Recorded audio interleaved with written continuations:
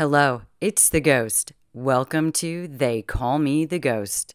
If you're a fan of the strange but true happening in our world and the dark and mysterious goings on, then you are in the right place. So, have you guys heard of the crazy, spooky, and mysterious, alleged of course, Nazi immortality experiment?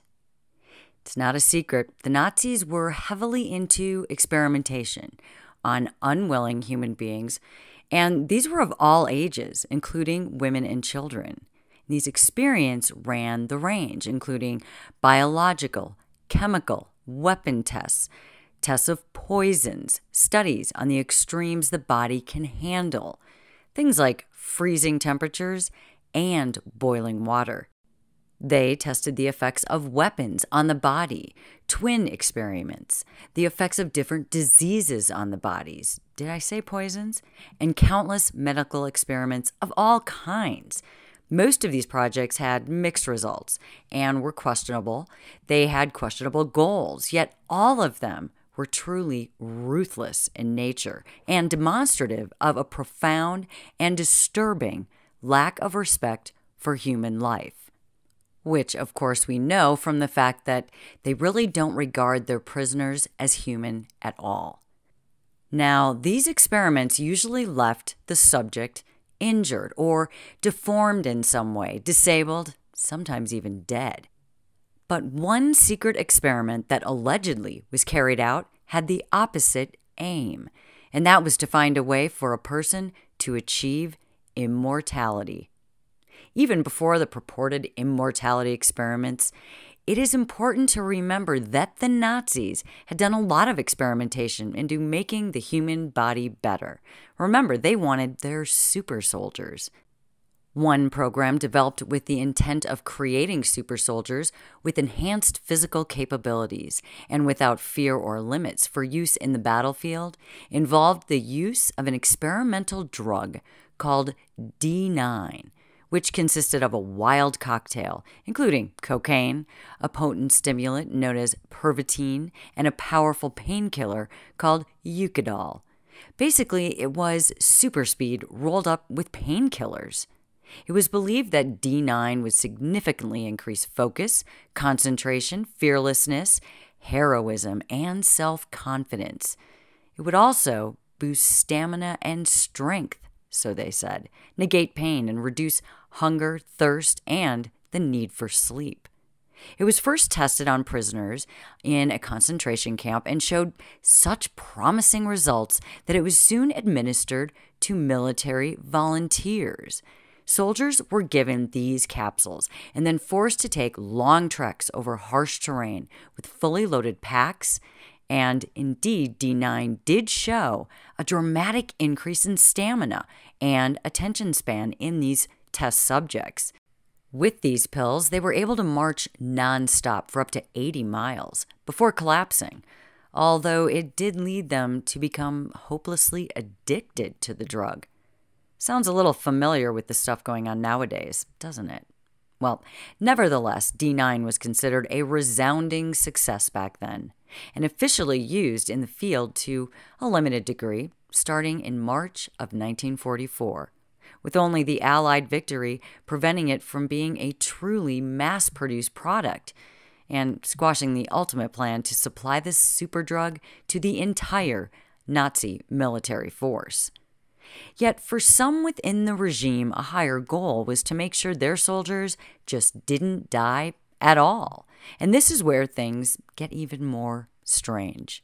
In 1999, some crates of old Nazi documents were allegedly uncovered in Hamburg that contained some rather strange experiments that are sort of a hybrid between science and the occult. The whole concept rests upon the idea that our bodies only die because our brains tell them to, that the brain has ultimate control over all biological processes, including death, and that puts us in a sort of timer that counts down to our ultimate demise. The idea here would be that if we could somehow remove that timer, the body would continue to function indefinitely, and that even aging could be stopped. For this alleged project, the mind was kind of like a disease with what was called a universal kill switch that tells the body to start breaking down at a certain age and to then eventually die. So the goal was to turn this kill switch off. If that was done, then the theory was that aging and degradation of biological processes would also stop and effectively render one immortal. The story here goes that in 1942, German scientists went about seriously researching this. And it's not really all that bad of an idea, something to start with anyway. They chose a location outside of Germany for their research, which ended up being their ally, Japan. There, the research team apparently commandeered an orphanage outside of Hiroshima for their experiments, which was not particularly new for the Nazis because children were just as good as subjects as anyone else. In this case, children were considered perfect subjects because it was thought that their kill switch hadn't even been activated yet and the mechanism for this could better be studied. The study apparently started by dissecting the brains of both adults and children in order to compare them and try to find this elusive universal kill switch that they were looking for, eventually claiming that they found it in the cerebellum, the part of the brain that controls all subconscious activity in the brain. Okay, so far, so good. Well, it gets even more strange. After this, German scientists began a series of surgeries on children trying to remove the portion they believed contained this kill switch. But at first, this resulted in the death of several subjects. How surprising, right? The bodies, which were unceremoniously dumped out in a shallow grave in the woods, these were orphans right? So no one would miss them, so they thought this is how they did their work. They would just remain nameless. They would be nobodies and disappear unnoticed. The scientists would continue to tinker with their methods, and on one occasion, they allegedly successfully removed a kill switch from a young girl. She, of course, would then go into a coma not long after that, but then she miraculously came back to life with the only side effect they could find being that she could no longer sweat. She would also go into a death like coma every single evening. Her bodily functions stopped and the heart stopped, only to snap her back to life the next morning. It was unsettling, to say the least, but manageable, so they said. The procedure was then deemed a success. Does that sound like success to you guys? The research team continued their surgeries. Of course they did, finding more success with subsequent subjects, but they also had a lot of failures, just as many, in fact. With children being inadvertently lobotomized, permanently injured, or even killed during these procedures. Well, in the meantime, the Nazis played around with the idea that a chemical compound could be used to deactivate this kill switch in adults as it was successfully carried out on some of the caretakers at that orphanage. As all of this is going on, the story goes that the children who had successfully undergone this procedure, they started to display other very bizarre behavior. And one journal entry of one of the scientists says this They appear normal at first, just like any of the other children. They're playing, they're cheering, they're learning normally. But when they are separated from others, that's when they seem off. They will stroll carelessly around with a blank smile on their face, their eyes looking straight at you.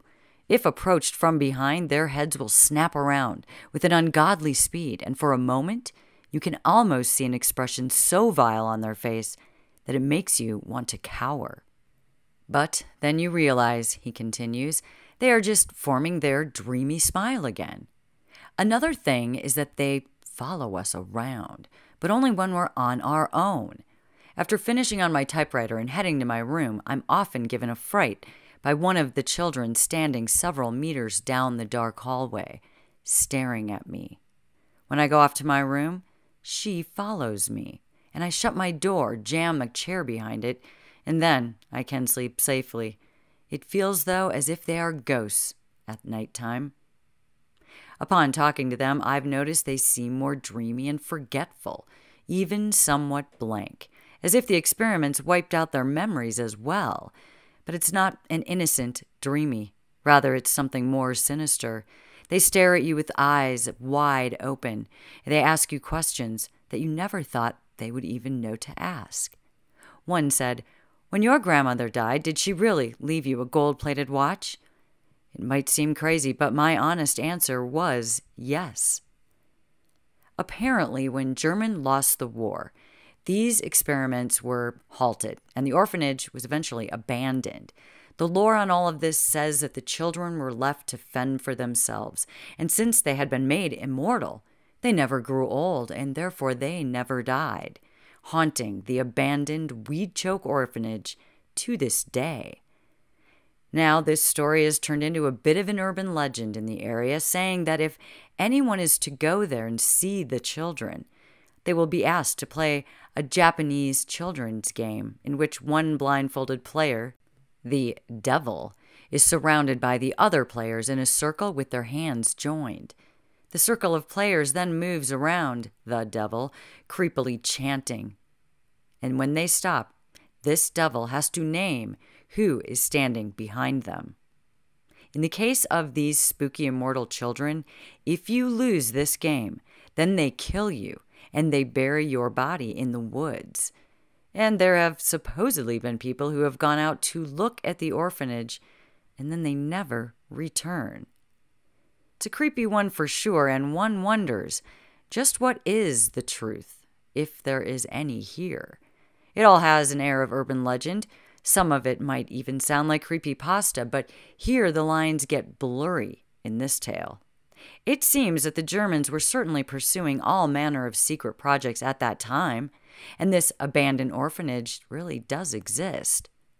Perhaps what we are looking for here is a persistent urban legend that has sprouted out the mysteries of war, some elements rooted in certain facts, but it is hard to say is this all just a creepy urban legend? Or is there something more to all of this?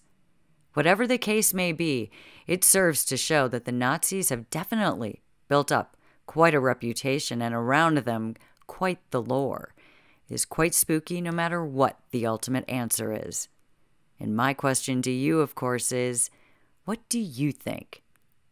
Want more tales like this? Let me know. And thank you for listening today and I will talk to you all soon.